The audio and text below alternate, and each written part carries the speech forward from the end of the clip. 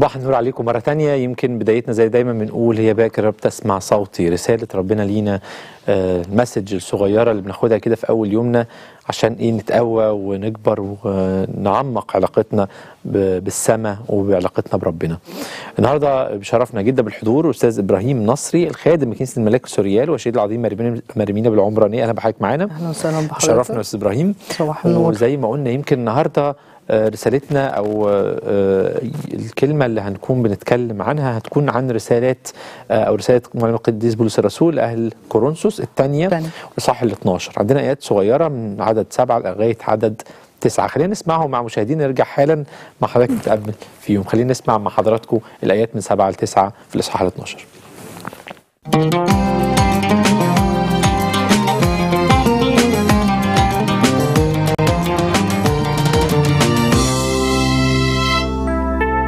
ولئلا أرتفع بفرط الإعلانات.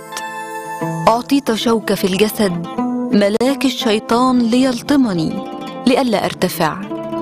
من جهة هذا تضرعت إلى الرب ثلاث مرات أن يفارقني.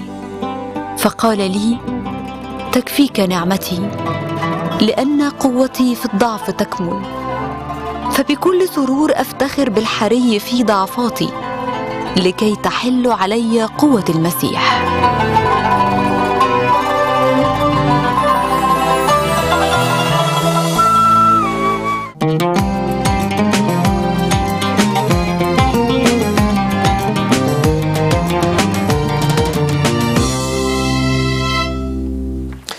الحقيقة الكتاب المقدس ادانا أمثلة كتير لفكرة الضعف وقال إن الإنسان الضعيف ده مش حاجة آه، سيئة ولا وحشة ولا حاجة مكروهة بالعكس هي دي الوقت وهو ده ال- الوقت الحقيقي اللي ربنا بيستخدم فيه هذا الإنسان. وياخد الصفة ال- الضعيفة دي ويعمل منها شيء كبير جدا. يعمل منها قوة حقيقية ويعمل منها بركة كبيرة للإنسان ده يقدر يخدم بالضعف بتاعه والصفة اللي هو كان شايف قد إيه هي دي اللي, اللي معوقاه أو محجماه على إن هو ينطلق أو يخدم بقوة. لا بالعكس هي دي الصفة اللي ربنا ياخدها وتبقى بركة لحياته ولكل اللي حواليه. اتكلم عن شخصيات كتير جدا الكتاب المقدس زي موسى النبي وأرميا ومنهم ناس كتير. أوي في العهد القديم يمكن أكتر نسمع عن شخصيات ونشوف قد إيه الضعف بتاع الشخصيات دي تتحول لقوة كبيرة جدا. النهاردة ربنا بيقول لنا كده الاستخدام بتاع الضعف ممكن يثمر أو يطلع عليه أشياء أو أو ي- يثمر ببركة كبيرة ربنا يديها لنا. بولس الرسول كان بيتكلم كمان عن فكرة جسده. كان عنده شوكة في الجسد. وده اللي خلاه ربنا يتحرك وينطلق لسماء تانية جديدة.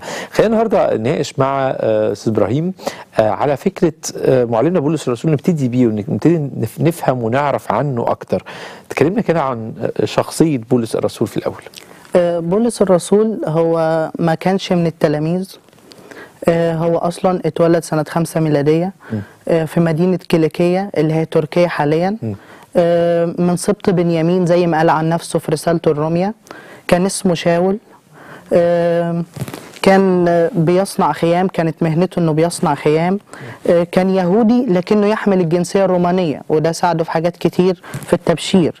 التلمذ على يد غملائيل غملائيل ده كان أكبر معلمي الناموس في ذلك الوقت في الوقت بتاع بولس الرسول. وده برضو أهل بولس الرسول إنه يكون مبشر عظيم لأن ثقافته اليهودية وثقافته على إيد غملائيل كانت كويسة جدا. آه، في البداية هو طبعا كان مضطهد للمسيحية حتى إنه كان بيسافر من بلد لبلد علشان يضطهدهم. وفي مرة طبعا وهو مسافر لدمشق زي ما كلنا عارفين القصة علشان يضطهد المسيحيين. ظهر له رب المجد يسوع وقال له شاول شاول لماذا تضطهدني ومن الوقت ده اتغير شاول وصبح بولس المبشر العظيم اللي الأمم كلها تعرفه. فعلشان كده هو ليه ألقاب كتير جدا في المسيحية عندنا. يعني مثلا رسول الأمم آه، لسان العطر ثالث عشر الرسل آه، فيلسوف المسيحية. ليه حاجات ليه ألقاب كتير جدا وكتاباته طبعا كلنا عارفينها. ال 14 رسالة آه، اللي هو كتبهم لتلاميذه وللأمم. فهو حاجة مب... يعني حاجة آه، نبقى فخورين بيه جدا في المسيحية. حتى إن بعض ال- الديانات والآراء الأخرى بتقول هو تاني مح... تاني شخصية في الكتاب المقدس محورية بعد السيد المسيح. آه، طبعا هو استشهد في روما سنة 67 ميلادية وبنحتفل بعيده في نفس آه، اليوم اللي استشهد فيه بطرس الرسول مع اختلاف السنة طبعا بس اخت... آه، نفس اليوم. وده كان هو آه، تقريبا بنعيد بيه عيد آه، عيد الرسل. عيد الرسل آه. طيب خلينا نتكلم على فكرة كمان رسائل بولس الرسول. رسائل بولس الرسول كانت كتيرة يمكن كتب 14 رسالة لكن كورنثوس اهتم بيها وده يمكن آه، يمكن عمل ليها رسالتين لو كان ليهم رسالتين. مش كل الرسائل رسالتين لكن كورنثوس من الرسائل اللي يمكن كان ليها آه، آه، مر يعني كان ليها رسالتين مختلفتين. النهارده بنتكلم عن كورنثوس الثانية بس فكرة أهل كورنثوس نفسهم كانت إيه الدعوة بتاعتهم؟ مين هم أهل كورنثوس؟ آه، يمكن حضرتك بتقول هو اهتم بأهل كورنثوس لأن كورنثوس دي مدينة كبيرة جدا في مقاطعة في اليونان.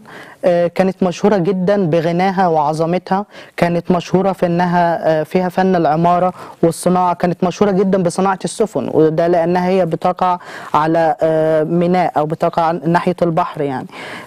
فيها كان فيها آلهة مصرية وآلهة يونانية ورومانية وفيها معابد معبد الإله أفروديت إلهة الجمال عند اليونانيين وإلهة الزهرة. آه، كانت مشهورة جدا زي ما قلنا بغناها وعظمتها وكانت مشهورة للأسف بأنها آه، مشهورة بالفساد والخلاعة آه، لكن بولس الرسول زارها وبشر فيها في رحلته الثانية زارها في الرحلة الثانية بشر فيها 18 شهر. يقال إن دي أكبر مدة قعدها بولس الرسول في مدينة بيبشر فيها. بس ما زارهاش المرة دي بس هو زارها مرتين كمان. وبكده يبقى هو أسس الكنيسة وبقى زارها ثلاث مرات وتحول شعب آه، كورنثوس من شعب مشهور بالفساد والخلاعة لشعب مؤمن أسس له أكبر كنيسة معلمنا بولس الرسول. مم. عظيم جدا. يمكن آه، زي ما قلنا فعلا كورنثوس كان ليها اهتمام كبير. بس النهارده الحقيقة عايزين ندخل في عمق الآيات. نتكلم كده في أول آية زي ما قلنا في الاصحاح 12 من الآيات اللي إحنا آه، مختارينها. آية 7 يقول لئلا أرتفع بفرط الإعلانات. يعني إيه؟ بنيجي دايما عند شوية كلمات كده أو مداخل آه، آيات يبقى عندنا مشكلة وعايزين نفهم أكتر. يعني إيه فرط الإعلانات؟ يعني إيه لئلا أرتفع بفرط الإعلانات؟ اولا عايزين نعرف إيه الإعلانات. دايما ال- الكتاب المقدس بي بيحط لنا مفردات آه، آه، نقف عندها. يعني إيه إعلانات؟ الإعلانات اللي كان بيقصدها بولس الرسول في الوقت ده هي الرؤى. الرؤى اللي كان بيشوفها لأن بولس الرسول آه، ذكر في نفس الإصحاح اللي إحنا فيه الإصحاح 12 ده بيقول أعرف انسانا قبل 14 عاما أفي الجسد أم خارج الجسد لست أعلم هذا اختطف إلى السماء. بيقول كده المفسرين إن اللي بيقول ده ال- الإنسان ده هو بولس الرسول نفسه لكن هو باتضاعه بيقول أعرف إنسانا ما رضيش يقول أنا اختطفت للسماء. فبولس الرسول لما اختطف للسماء شاف ما لم تره عين وما لم تسمع به أذن ولم وما لم يخطر على قلب بشر. آه، مع الإعلانات الكتير اللي شافها بولس الرسول دي آه، كانت ليه مواهب إنه كان بيشفي مرضى آه، قوم ميت. كل ده فبولس الرسول بيقول لئلا أقع في- من فرط الاعلانات فهو بيقول أنا ربنا إداني شوكة في الجسد علشان ما أقعش في خطا في خطية الكبرياء دي والغرور فإداني شوكة كأنها حصن ليا إنها كل شوية بتفكرني إن أنا أتضع. لا أنا أنا آه كل ده لكن لا برضه لازم أتضع. طيب خلينا نتكلم برضو عن فكرة شوكة الجسد. يقول كده أعطيت شوكة في الجسد. بولس الرسول كان عنده شوكة في الجسد. إيه الشوكة دي؟ وهل فعلا شوكة بمعنى كلمة شوكة بالمعنى الحرفي بتاعها ولا ليها معنى روحي كان قصد- بيه هذه الشوكة الجسدية هي للشوكة دي تفسيرات كتير جدا. آه، في بعض آه، التفسيرات قالت إن الشوكة دي كانت عبارة عن دمامل وقرح في جسم بولس الرسول. تفسيرات تانية قالت لا دي كانت اضطهادات ومحاربات من الشيطان اللي كان بيحاربها الشيطان ضد بولس الرسول في كل مكان وفي كل وقت. لكن الرأي الأرجح والتفسير الأدق هي إنها كانت آه، مرض في عينيه زي رمد ربيعي أو حساسية آه، ضعف بصره. وده بنلاحظه يمكن في رسائل بولس الرسول إنه ما كانش بيكتب رسائله بنفسه. كان دايما بيمليها لتلاميذه. يعني نلاقي مثلا في أواخر بعض الرسائل بيد سلوانس الأخ الأمين أنا تيريوس أسلم عليكم في الرب. لكن لما بولس الرسول كان بيكتب بنفسه كان بيقول بيدي أنا بولس هذه علامة. فهو دايما لما كان فدي كانت آه، المفسرين يقولوا إنها كانت ضعف في بصره. ويمكن نستدل من القسمه قسمة الرسل آه، من الحتة دي لما بنقول وكانت مناديل وعصائب الآخر تذهب الأرواح الشريرة وتشفي الأمراض. دايما العصبة بتبقى مربوطة على العين عصبة للعين. فدي استنتاج من من ال- من القسمة إنها برضو كانت مرض في عينيه اللي هي الرمد الربيع أو حساسية. والمرض اللي بتاعه اللي كان ممكن يشفي فعلا أمراض كثيرة. آه. طيب. معلمنا القديس بولس الرسول كان عنده ضعف زي ما ذكرنا وقلنا وقلنا ممكن يكون فعلا ضعف بصري. هل في ضعفات الإنسان فعلا ممكن يقع فيها؟ يعني لو استندنا إلى الحياة الروحية أو الكنيسة وتعليمها لينا إيه الضعفات اللي فعلا الإنسان ممكن يمر بيها؟ زي ما قديس معلمنا بولس الرسول مر بضعف جسدي. في ضعفات كتير يعني الضعفات أنواع والضعفات متنوعة. زي ما قال لنا الروح القدس على لسان يعقوب الرسول احسبوه كل فرح يا إخوتي حينما تقعون في تجارب متنوعة. فالتجارب متنوعة وكتيرة. آه، في مثلا آه، تجارب وضعفات من أجل الإيمان زي الاضطهادات اللي بتواجهها الكنيسة من بداية المسيحية لحد دلوقتي. لكن نلاقي السيد المسيح نفسه بيقول إن كانوا اضطهدوني فسيضطهدونكم فأنواع الضعفات ممكن ناخد منها آه، كم آه، كم نوع كده اللي هي مثلا الضعفات الروحية. اللي كل كلنا أحيانا بنسقط في حياتنا الروحية بس ال... بنلاقي دايما الكتاب المقدس بيعزينا بسرعة بيقول الصديق يسقط سبع مرات ويقوم. إذا كان الصديق بيسقط سبع مرات ويقوم فأنا هحاول إن أقوم. أذكر من أين سقطت اقوم في ال... الآية برضو اللي بتقول السماء تفرح بخاطئ واحد يتوب أكثر من 99 برا لا يحتاجون للتوبة.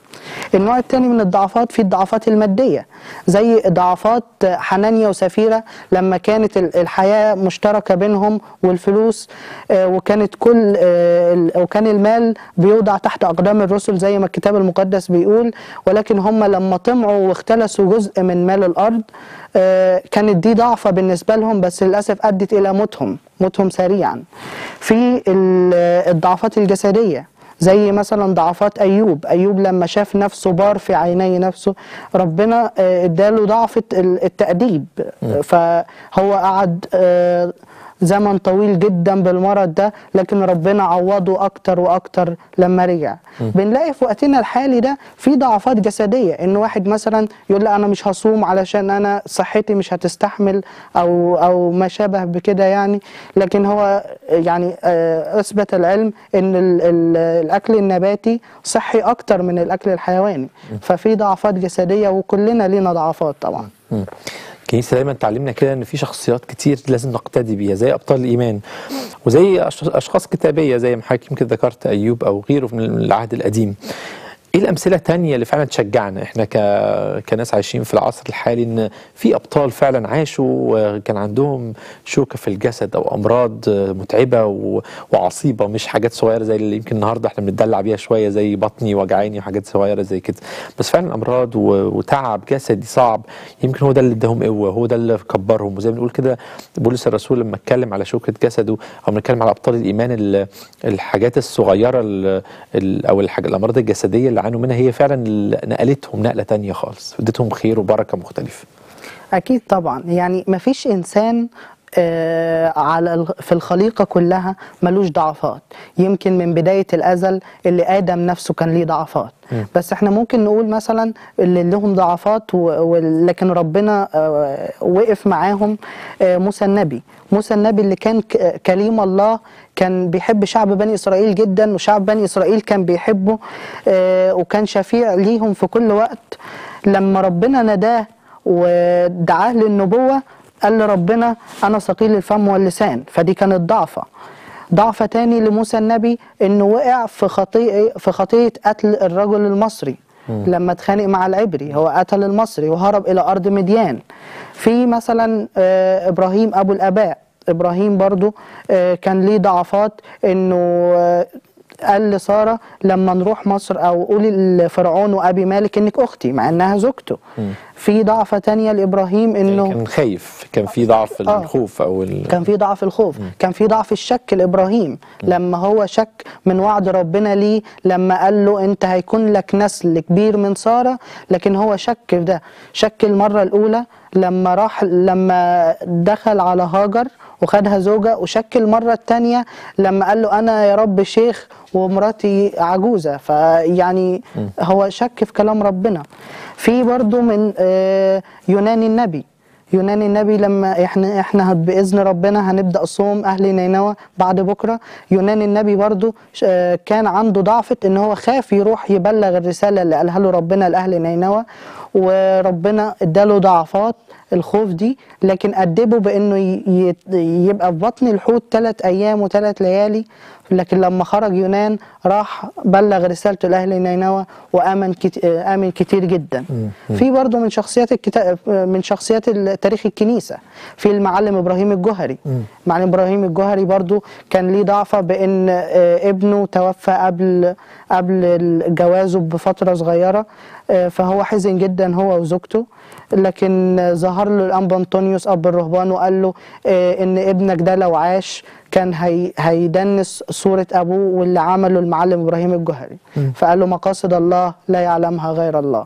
في أمثلة كمان يمكن الكنيسة تعلمها لنا إن مش بكبر وصغر السن. في ناس سنهم كان صغير لكن كان عندهم شوية ضعفات وربنا اتمجد فيهم وغير حياتهم وخلى كمان مجد مجد حياتهم ده يغير ناس حواليهم كتير زي أثناسيوس وزي تيموثاوس. إزاي ربنا كده غير حياتهم. إيه الضعف اللي كان عندهم؟ هو ربنا ما كانش بيستخدم آه، الكبير بس. يعني يمكن مثلا كان في ال في ال آه، أيام اليهود زمان ما بيعتبروش اللي تحت ال 30 سنة إنه كبير. كانوا لأ يعتبروا اللي تحت 30 سنة ده صغير. حتى لو سنه 29 سنة لأ ده صغير. علشان كده المسيح كمل رسالته بعد ال 30 أو بدأ الرسالة آه، رسالته بعد ال 80 بعد ال 30 30 سنة، صحيح. آه، ف ال- ال ال الأشخاص الصغيرين دول ربنا برضو استخدمهم. يعني في زي ما حضرتك قلت اثناسيوس الرسول.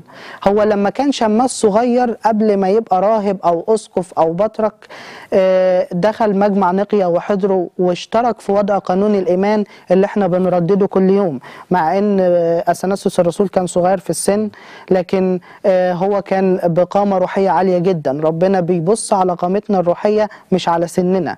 فهو دافع عن الإيمان الصحيح ضد أريوس اللي كان بيهرطق بأن الابن أقل ألوهية من الآب. وفضل يدافع عنه حتى لقب أثناسيوس بأنه الرسولي أو حامل إيمان في برضو ال- القديس تيموساوس. تيموساوس الرسول اللي هو تلميذ معلمنا بولس الرسول لما بولس الرسول بعت له رسالة وقال له لا يستهن أحد بحداثتك. هو بعت له الرساله دي لأن تيموساوس كان أسقف لكنه صغير في السن. فبولس الرسول بأبوته خاف إن بولس يقع في خطية الصغر أو يحس نفسه ضعيف أو دي بالنسبة له يحسها عقبة قدامه فقال له لا يستهن أحد بحداثتك. وقال له إن آه، كن عظة وبخ عظ كن قدوة للمؤمنين. لأن أنت راعي والراعي دايما لازم يكون قدوة للمؤمنين بمواهب الروح القدس اللي هو بيبقى أخدها في عن طريق رسامة رسامة أسقف مم. هو طبعا فكرة السن الصغير دي كتير بتخوفنا لأن لأن فعلا ناس كتير سنهم صغير وشهداء كمان وقديسين آه طبعا كبار تاريخ الكنيسة وجمال. مليان جدا. يعني كرياكوس آه، الصغير كرياكوس القديس أبانوب أبانوب نهيس يمكن 12 سنة وشهيد عظيم جدا وليه. كنايس باسمه. يعني حاجة برضو من الحاجات الرائعة والجميلة اللي كنيستنا تعلمها لنا. حتى لو واحد عنده 10 سنين و12 سنة لا ده ممكن يكون في قامة عالية جدا. طبعا حتى في عصرنا الحالي ده في شهداء صغيرين في السن. برضو دي يعني ربنا أخدهم في استعدادهم. إزاي ربنا يعمل في ضعفنا؟ ودي الحاجة النهارده اللي عايزين نطلع بيها. إزاي فعلا أدرك إن أنا عندي حاجة سو... عندي حاجة آه، تعباني ملجماني حاجة ضعف عندي معروف أنا حاسه وعارفه. إزاي ربنا يتعامل بيه ويخليه فعلا سر بركة حياتي وبركة كل بركة حياتي وبركة كمان لكل اللي حواليا والآخرين اللي بيح... يعني اللي بتعامل معاهم بيه. زي ما بيقول الكتاب الله يخرج من الجافي حلاوة ومن الآكل أكلا. ربنا زي ما قلنا من شوية إنه اختار جهال العالم ليخزي بهم العلماء واختار ضعفاء العالم ليخزي بهم الأقوياء. يعني في أمثلة كتير جدا من الكتاب المقدس عهد قديم وعهد جديد وتاريخ الكنيسة بيقول إن ربنا اختار ناس ما نتخيلش إن الناس دي ربنا هيعمل بيها حاجة. في مثلا في العهد القديم أرميا النبي لما ارسله الله بال- بالنبوة قال له آه أيها السيد الرب لا أعرف لاني ولد. فرد ربنا وقال له لا تقل إني ولد. فربنا بيستخدمه وخلاه يروح يبلغ رسالته وهو بلغ رسالته وعمل كل اللي, اللي طلبه منه ربنا. وزي ما قال له ربنا لا تقل إني ولد. في زي موسى النبي لما قلنا من شوية إن هو قال آه أنا ثقيل الفم واللسان. برضه ربنا استخدمه وخلاه يقود شعب بني إسرائيل 40 سنة في البرية. وبقى لقبه كليم الله. يعني هذا الشخص اللي كليم كان الله، اللي- اللسان بقى. كليم الله. فعلا اللي كان لسانه تقيل بقى هو كليم الله. الله. فالسيد المسيح نفسه اختار برضو ناس بسيطة جدا اختار بطرس الرسول وأندراوس اللي كانوا صيادين ودول بشروا في, في أماكن كتيرة جدا وهدوا ناس كتير جدا للبر وللإيمان بالسيد المسيح. في في تاريخ الكنيسة برضو آه، سمعان الخراز. ده بقى لما كان ما كانش شماس ما كانش كاهن ما كانش أسقف لكن ربنا استخدمه وب- وبصلاته وببساطته دي نقل الجبل المقطم. في تاريخ الكنيسة وبستان الرهبان مليان كتير جدا. في آه، الراهب البسيط يوحنا الزمار اللي نقل القلاية ببساطته ان هو ما كانش حافظ أي ألحان ولا أي حاجة فرئيس الدير قال له امشي فهو قال له هاخد ال- القلاية معايا. فصلى فبساطته نقلت معاه القلاية. فالبساطة آه، يعني ربنا بيختار القلوب البسيطة ويسكن فيها. صحيح ويمكن فعلا زي ما حضرتك قلت الكنيسة مليانة بقصص الإيمان. اللي نقلت جبل المقطم واللي نقلت واللي حولت واللي غيرت يعني دي حاجات فعلا كلنا عارفينها وأمثلة كلنا قريناها. لكن النهارده بيجي وقت علينا ضعف ووقت الضعف ده بيكون صعب على الإنسان. خليني النهارده أختم مع حضرتك بالروشتة الصغيرة دي. إزاي ما واحد يكون ضعيف حاسس بضعف وحاسس بتعب يطلع من ده يخرج من ده. إزاي؟ يديني كده روشتة في كلمات بسيطة نختم بيها مع حضرتك النهارده. طبعا ال- الإرشادات كتيرة جدا آه، اللي ممكن نرجع لها. آه، وخليني الأول أقول أن الذين بلا مرشد كأوراق كأوراق الشجر يتساقطون. أول حاجة ممكن نقول الثبات مع الله. الثبات في الحياة مع الله يعني في بعض الناس آه، بسبب التجارب بتضعف وتلاقيها لا بعدت عن ربنا بمجرد خطية. يعني واحد بيدخن فأقل اقلع عن التدخين فرجع له تاني بس رجع أكتر من الأول مدخن أكتر من الأول أو شرب الخمر. دول ممكن نقول عنهم ابتدأ بالروح وأكمل بالجسد. علشان كده ما كملش. في التمسك بفضيلة الرجاء. يعني مهما نضعف لكن إحنا المفروض إننا ما نيأسش زي ما قال الكتاب المقدس لكل الأحباء يوجد رجاء. لازم برضو يكون عندنا سهر سهر وجهاد في حياتنا الروحية. وقت الضعف بنلاقي دايما الكتاب المقدس بيقول لنا آه، اسهروا وصلوا لئلا تدخلوا في تجربة. فالسهر والجهاد بيخلينا ننتصر على أي ضعف جوانا. الصلاة والكتاب المقدس ال- ال- برضو لازم إن إحنا يبقى عندنا نظر لضعفات الآخرين مش علشان ندينهم لأ. إحنا علشان لما هنبص ليهم هنتعزى من جوانا إن ضعفاتنا دي إحنا بربنا هنعديها وهننتصر عليها. فهي آخر حاجة اللي إحنا نلجأ للطرق الإلهية زي مثلا التناول والإعتراف الأسرار المقدسة آه، قراءة الكتاب المقدس آه، الصوم والصلاة كل ده هيخلينا إن إحنا نعدي من نعدي من الضعفات دي وبكده يبقى إحنا يعتبر آه، خدنا مبادئ إن إحنا نعدي من الضعفات وربنا طبعا بيكمل لأن قوتي في الضعف تكمل. الحاجات اللي بتريح دي نبتدي بيها نتناول نعترف.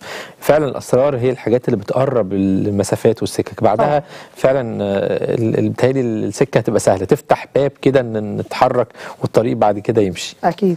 بشكرك جدا أستاذ إبراهيم آه، نصر خادم كنيسة ملاك سوريال والشهيد العظيم مريمينا بالعمرانية. بشكرك جدا لوجودك معنا النهارده. صباح النور عليك. صباح النور. ويا رب تكون الرسالة النهارده لكل شخص سمعنا و- فعلا استفاد بيها يفكر مع نفسه. كل واحد ليه رسالة على فكرة واضحة لشخصه. آه، إحنا النهارده بنتكلم في مبادئ عامة النهارده بنتكلم في فكرة رسالة بتبعتها لنا النهارده لكن كل حد ياخد ده على نفسه ويفكر فيه أكتر ويتعمق فيه ويكون باب النهارده صغير أو شباك كده بنفتحه وكل واحد يتعمق بطريقته. آه، بشكرك جدا تاني أستاذ إبراهيم. آه، شرفتني في في الفقرة الأولى من بكرة بتسمع صوتي لصباح النور هذا اليوم. صباح النور آه، يمكن آه، خلصنا فقرتنا الأولى لكن فقرات صباح النور مكملة معانا. فقرتنا الثانية هتكون عن عرض كتاب. زي ما قلنا كده في المقدمة إن عندنا كتاب النهارده بعنوان اللآلئ القبطية في أو على مر آه، الزمان. والنهاردة عندنا سلسلة كبيرة من هذا الكتاب لكن النهارده هنتكلم عن بكورة الكتاب. كاتب آه، كاتب هذا آه، آه، أو كاتب هذه السلسلة هيكون معانا فقرتنا الجاية. خليكم معانا لكن فاصل قصير نرجع لكم حالا.